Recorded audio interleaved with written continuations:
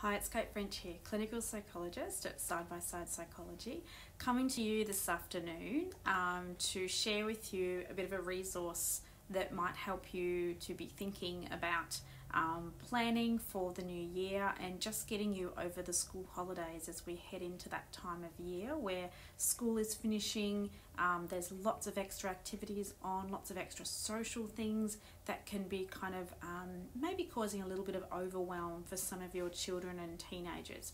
So I thought I'd share with you um, a book that I've had for a little while. Um, it's written by an occupational therapist, um, and it's this one here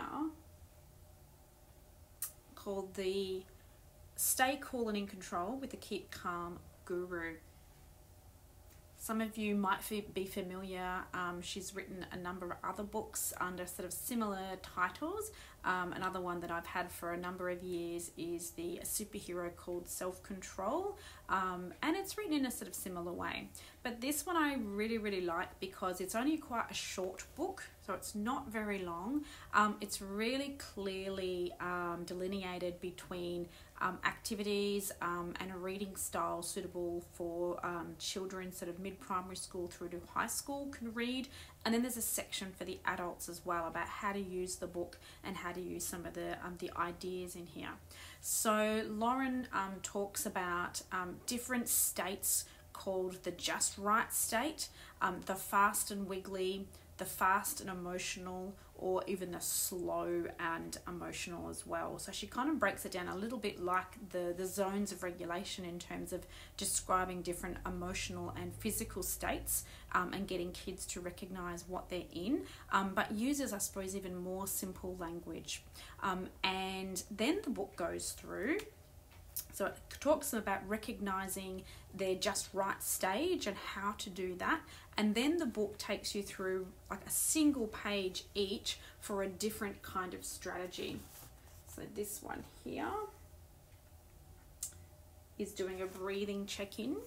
And she talks about different kinds of um, regulatory breaks. So she talks about any time breaks, big movement breaks and got some cool pictures which are essentially some cool yoga moves for big movement breaks. She talks about um, using strategies that you already have at hand um, and yeah so there's some velcroed everyday items page but every page sort of for one strategy. So it's very clearly um, sort of laid out for you in the book which i think is really great the other thing that this book is really useful for um, is that all the handouts that they have sort of in the appendices, they've actually got already accessible on the Jessica Kingsley publisher website. So in the book, she's actually got them listed as an appendix, but then you can actually go to their um, publisher website and click on the icon for that actual book, and then you can get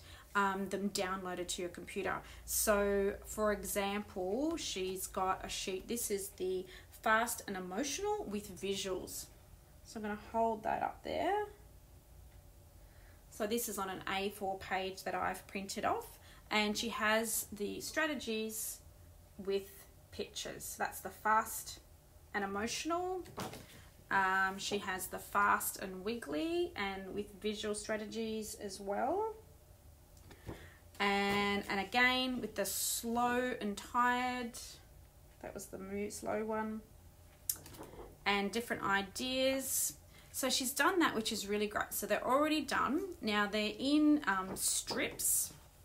So if you wanted to turn them into like a wristband for an ideas or tape them onto tables or split them off and put them onto resources inside of pencil cases or, or other places that would be an easy visual recognition for kids up on their bedroom door, anywhere you can kind of think of. So they've already kind of got them already set out for you. They've also got, as one of the handouts, is about 10 or 15 different handouts that are already on that website that you can download even without the book.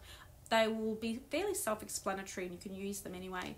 This is a checklist for the how do we know we're in our just right mode and how do we check in with our bodies and do some labeling of the pace of our body and what maybe emotions we're experiencing. Um, they've got a self monitoring checklist already designed.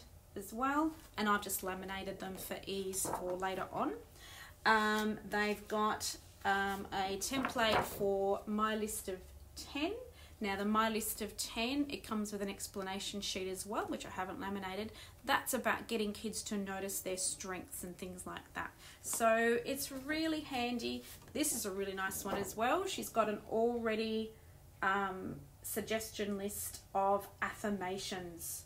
So, helping kids to develop some positive mindsets and positive thoughts about themselves. So, at this time of year, um, and even thinking about in the January before kids go back, um, having some really positive things for them to say about themselves to help settle their anxiety is a really useful thing to have already done. So I really think this could be um, a great resource for many kids. Um, like I said, it's really simply written.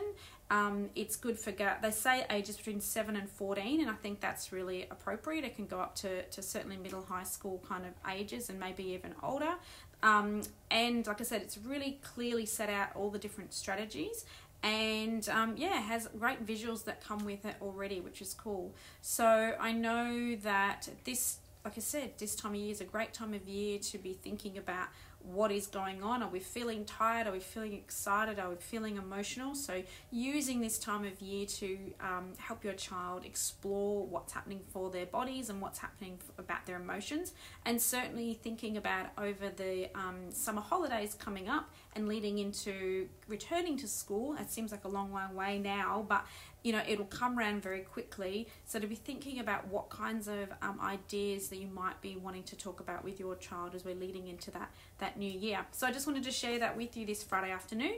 Um, if you felt that was useful or you've got any questions please pop them below. Um, but otherwise i will catch up with you at my next friday live. Thanks for listening